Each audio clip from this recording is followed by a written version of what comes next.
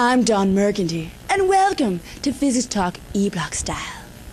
Today we'll be taking one of my personal favorite movies and breaking it down to show the physics behind the movie magic.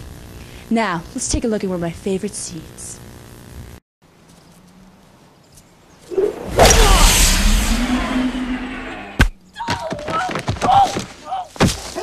Oops. All right, maybe we should get back inside. Hey, you made a bet. Pay the man. One thousand one. One thousand two. One thousand three. Oh, welcome back. I didn't know you were returning so quickly. Well, now we're gonna go to our in-house nerds, scientists, Kurt Yes, Amos Ross, and Mike Walker, to explain the physics behind the fun. Now let's show the clip one more time in slow motion.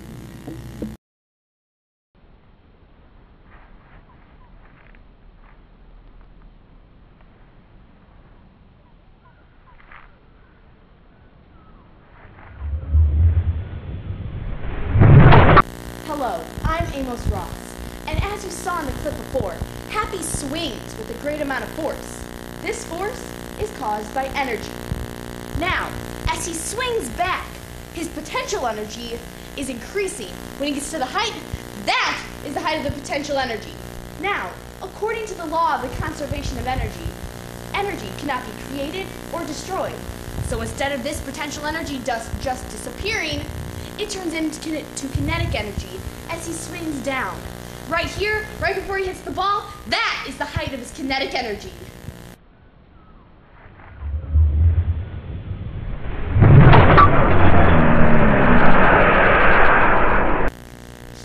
I'm back, and I'm here to talk about C of M, or center of mass.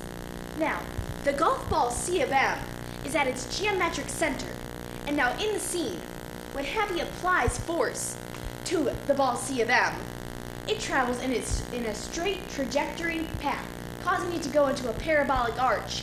If you don't know what that means, just think of a Rainbow! now, if Happy would have hit the ball off its C of M, or not directly in the center, the ball would have gone to the left or to the right, causing the scene to be a lot less funny because it would not have hit the lady.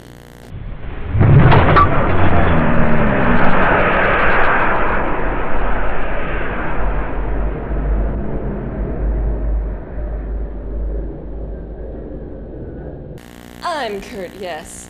And I'm sorry to say I will be taking Michael Walker's spot today because he is stuck in a glass case of emotions. Ugh. Anyway, I will be talking about the ball's acceleration at the time of contact.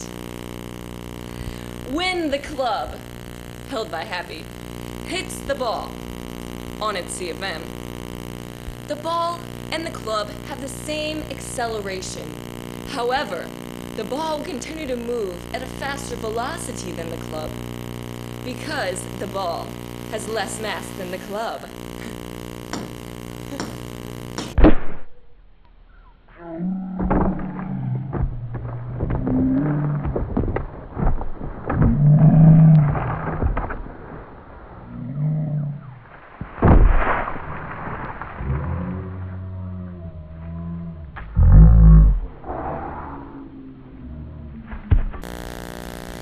Yes, this is Kurt Yes, once again.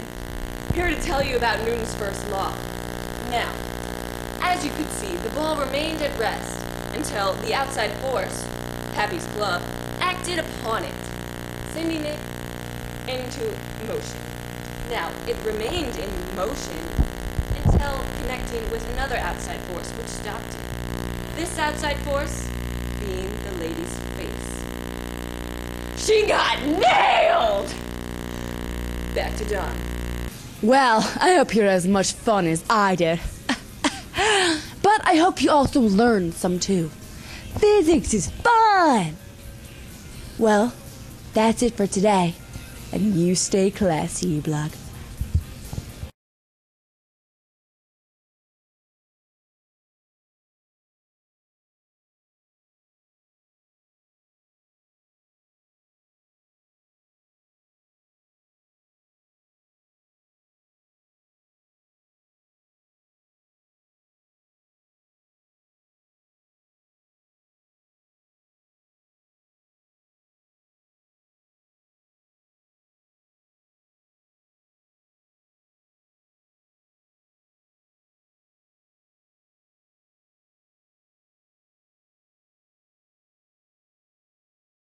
2003.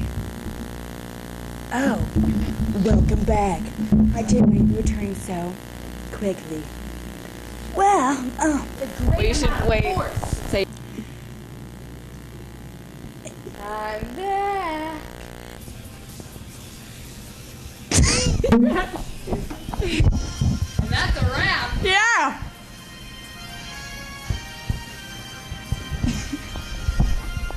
Ah.